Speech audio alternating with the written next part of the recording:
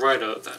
Well today I'm going to be doing something that as far as I can tell other Linux YouTubers that own a PinePhone haven't. Today I'm going to be talking about how I use my daily driver PinePhone. Because yes, this PinePhone is actually my daily phone. I use it for like all of my phone stuff and all that sort of thing, and it works pretty well actually. So what I'm going to do in today's video is go through the stuff that I use and talk about how well it works.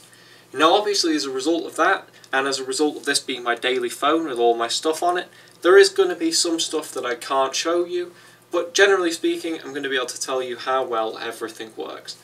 Now, the first thing to know is that I actually use Mobian on here, which is basically Debian for the PinePhone. Now, the reason that I use it is because as far as I can tell, it's the only distribution where everything works. Other distributions seem to have some minor issues here and there, uh, I think generally speaking Manjaro works quite well as well, but I had some issues with like, you know, sound devices and stuff on there, so sadly I couldn't use that. But I'm sure they'll fix it eventually. Now, at some point when it's more well developed, I want to switch to Ubuntu Touch or another more mobile optimized operating system. But for now, I'm just using Mobian. As you can see here as well, I'm using the Phosh desktop. It's a pretty nice desktop and I can't wait to see where it goes, but there's a few things that I do wish it had, but I'm sure in time it will get more and more features. Now, as you can see, I've got my app list up, so what I'm going to go ahead and do is go through all these apps and tell you how well they work and how I install them and that sort of thing. So from the top we've got the phone app. Now, phone calls seem to work reasonably well on the PinePhone. The only trouble is that call quality isn't great. Call quality isn't particularly good on my end, and I've had complaints from people on the other end that say the call quality is just not that great. However, calls do work, and you can indeed be heard on the other end, which is the main thing. Now, I'm sure a lot of people are wondering, uh, do calls work? Like, do outgoing calls work and do incoming calls work? Well, a few weeks ago when I tried to daily drive with a Pine phone, calls did not work properly. The phone wouldn't wake up when I was receiving a call, and sometimes I couldn't even place a call. Now I'm pleased to say that generally speaking, the phone does wake when I'm receiving calls, and I can send calls. In fact, I don't actually think I've had an issue that I'm aware of where the phone hasn't received a call, so that's absolutely fantastic to see. Next up, we've got the texting app. Texts do work on here.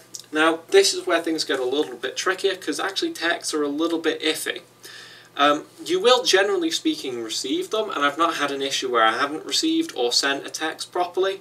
The only issue is that sometimes you won't be notified, which is quite bizarre. I don't actually know what the exact cause of why I sometimes don't receive texts is, but it seems to be that when I open up the app every reboot, something kind of clicks and I will then receive text just fine. So I'm not really sure what that's about, but I'm sure it's probably quite an easy fix, and at some point texting will be 100% reliable. Next up I've got the Firefox web browser, which this might take a second to launch. Now, one thing to know about the PinePhone is it's not a speed demon by any means, and things do take a little bit of time to launch and stuff. As you can see, Firefox took a second to load here, but now we're up, you can see that scrolling is perfectly smooth. Um, you know, I can go into the menus just fine. Uh, and as you can see, it is full desktop Firefox running on a phone, and it's surprisingly usable actually. I think it's the ESR version of Firefox, which is the extended support release, um, which I think is a little bit lighter than the current release, which is good for a low power device like this. And as you can see, I actually have my ad blocker installed, which works perfectly fine too. The only thing is, since this version of Firefox is configured to use the mobile version of sites, I tend to find that a lot of extensions and stuff I just can't install, which is a little bit frustrating. But like as a whole, it works completely fine, and if you have an extension that's in the Debian repositories, you can install it with no issue, which is I think how I got the ad blocker installed. So if we keep going, we've got a contacts app, which I was able to sync up my contacts from Nextcloud absolutely fine which fantastic. Now I did actually a while ago have issues where the contacts weren't showing in the text and phone app, but that issue seems to have been resolved, which fantastic. The only thing that annoys me is there's no way yet to import a file into the contacts app. You have to sync it from an online account, which is quite annoying because not everyone's going to have that. But like as a whole, it's fine, I guess. Next up we have 2048, which is a simple game, which I'm just going to open up to quickly show you. As you can see, works totally fine. There are a few simple games that work on the PinePhone. There's like nothing too elaborate, but it works fine. Next up we've got Anki, which is a flashcard program. If I open it up real quick, you'll see that it's a desktop app that actually works really, really well on the PinePhone. Now that might take a second to launch, so let's just give it a moment. There we go. As you can see, this is a full desktop app that works absolutely fine on the PinePhone. Now I don't actually have any decks to show you because I'm not yet signed in, but as a whole it works perfectly fine and I actually was using it a while ago before I reinstalled my OS and forgot to sign in. Next up we've got Audacious, which is a music player. I decided that I wanted a more traditional music player on the PinePhone, so I could use a full desktop one. And this works absolutely fine, and I've used it in the past to play music, and it worked fantastically. So if we keep scrolling, we've got an Authenticator, which I don't use, Blanket, which is an app that's supposed to play ambient noises. I haven't used it yet, but I believe it works perfectly fine. We've got GNOME Books, which frustratingly doesn't actually scale properly to the PinePhone. So if we open it up, you can see that a lot of stuff is just cut off, which is something that you will unfortunately see a fair bit of with the plain phone at the moment while apps get updated. You've got a calculator that works totally fine. You've got a calendar which, as far as I can tell, doesn't really work at the moment. As you can see, everything is too small to be usable, but, you know, I suppose you could use it. Next up, you've got Corebird, which is a Twitter client, which works perfectly. So if I'm just going to open it up, there you go. You can see that that works absolutely fine. And you can see that all of my Twitter feed loads. It's a little bit slow, but like as a whole, it's fine. So if we keep going, you can see that we've got a chess program, works fine, it's chess. You've got clocks. Now, this is a little bit iffy. Now, generally speaking, alarms will go off, and I've had very few instances where they don't, but every so often they won't, and I found that timers and stuff like that just do not work, which is unfortunate. I'm not actually sure what the issue is, but I'm sure at some point it's going to be sorted. Next up, you've got Dialect, which is a translation app. You've got Dino, which is an XMPP client. So if we just go ahead and launch it, you can see that it's not, it's perhaps not uh, properly scaled to the PinePhone. Everything is a little bit small, but you could totally use this to send messages, and in fact I actually have used this to send messages. The only problem with these messaging apps that I find is that um, very often they need to actually be open in order for you to get messages since they're not mobile optimized. And that's the case for pretty much every app besides your calling and your texting app. And as you can see, we've got a notification up there. Notifications do work, but once again, as I said, the app most often has to be open. You've got GNOME Disk, which works fine. You've got a document viewer, which I'm not needed to use that yet, but to my knowledge, it works fine. Uh, if we keep going, you've got a drawing program, which works absolutely fine. Um, you've got Feed Reader, which is the um, RSS reader I use on my desktop. That doesn't work so well. You've got uh, Feeds, which actually scales properly to the PinePhone, but if you've got a lot of feeds like I do, it's quite slow. So I'm just going to leave that to open, and there you go. So as you can see, it's taking quite some time to load our feeds. And when it actually does load our feeds, it's just slow, it's not scrolling. I've used this to read the news, but you probably wouldn't really want to in its current state unless you have like very few sources, which might make it faster, maybe. So I'm just going to have to close out of that. And as you can see, sometimes apps don't really close properly, but there you go. If we keep going, we have a file manager, which is, I believe, Nautilus. Now, the reason I installed that is because I want to be able to access my files and stuff, and I also want to be able to access my Nextcloud and stuff, and it's the only file manager which will support that. You've got a flashlight, which actually does work, and if I turn it on, you can probably see that the edge of the case is glowing. The flashlight works perfectly fine. If we keep going, we've got Fractal, which is a matrix client.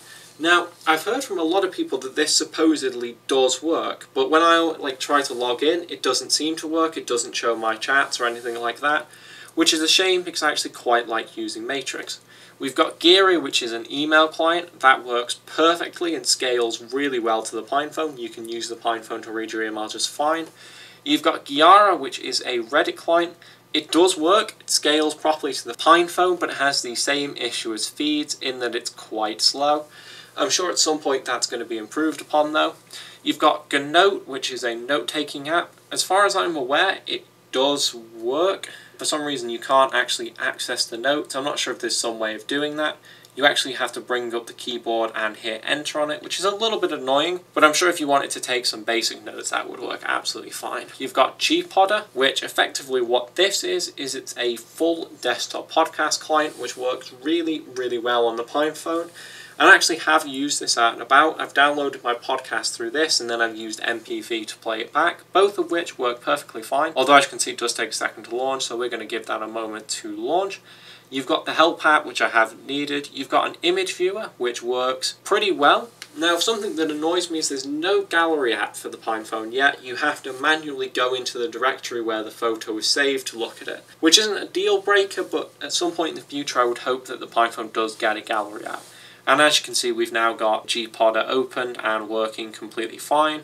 It's not the fastest thing in the world, but you could absolutely use this to listen to your podcast. If we keep going, you've got King's Cross, which is a terminal client, works perfectly fine. Let's just open it up and I can show you that yes, in fact, you have a full terminal. You can use this to update, uh, install packages, that sort of thing and that's exactly what I use it for. You've got Komikku, which is a manga reader.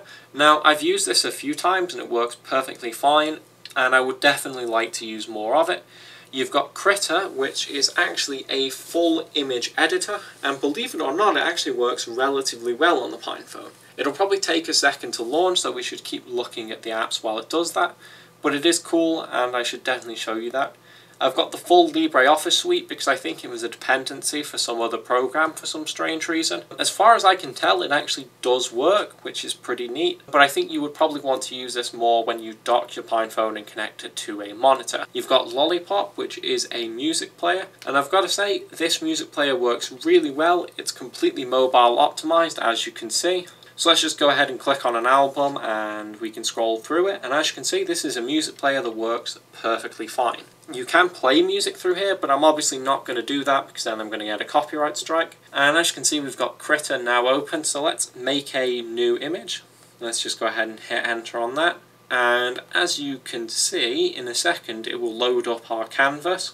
And what you can actually do within Krita is if we go into view, you can actually detach the canvas and then you've got a perfectly usable canvas and you can actually do some basic image editing on the PinePhone.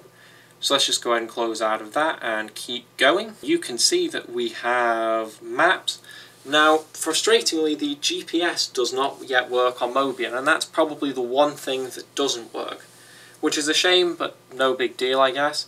We next have Megapixels, which is the PinePhone's camera app. It takes a second to warm up, so you can't really use this to quickly take a photo of something. But as a whole, it does work fine.